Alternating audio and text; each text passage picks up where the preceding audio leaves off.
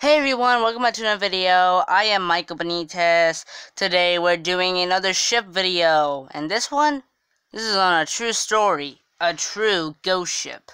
This is the ship known as the Arctic Ghost Ship. The SS Baychimo. Let's hear the story of this mysterious ship.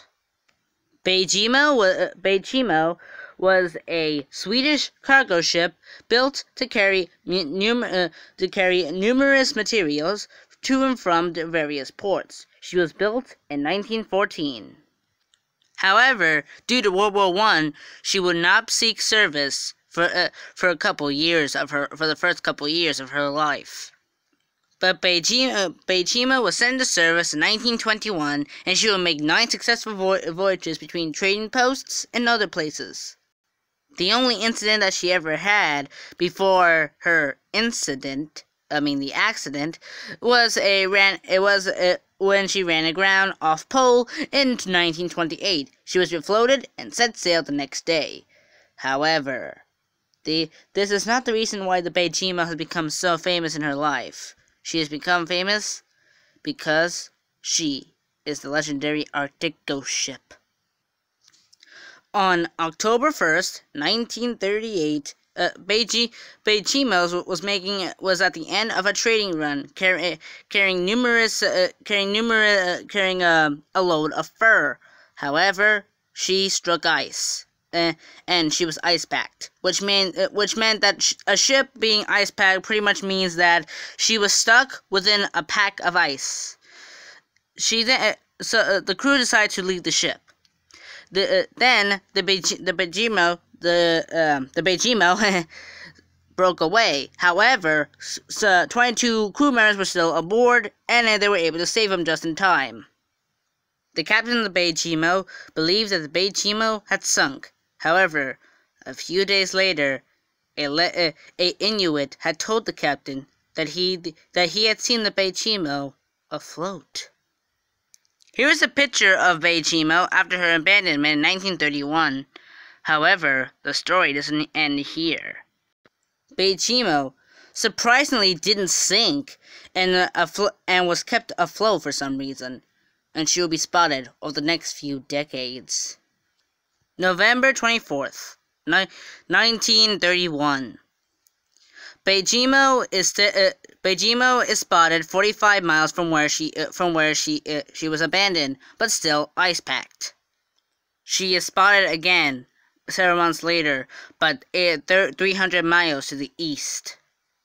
In March the following year, a, um, a man named Leslie Melvin, oh, along with his dog sled team, spotted Baychimo floating peacefully off the uh, off the coast. Several months later, she was spotted again by prospectors. In August of 1932, she was spotted and boarded by 20 uh, by a 20-man Alaskan uh, trading team. However, they were unsuccessful in in getting the ship ba- uh, back in the port and abandoned the ship again. 1933, she is uh, she was spotted and boarded by a team by a um, salvage team, but they were trapped on board Baychimo uh, for 10 days during a freak storm. The, sh- the ship was then abandoned again. August 1933. The company learns that the Baychimo has been spotted again. However, she is, uh, she is too far out at sea to be salvaged. 1934, she is she is boarded by crew by a crew of a schooner. However, she was then abandoned again. September 1935, Baychimo is the is spotted on the southwest coast, uh, on the southwest coast of Alaska's coastline. 1939. She is spotted and boarded by a, uh, by a captain wishing to salvage her.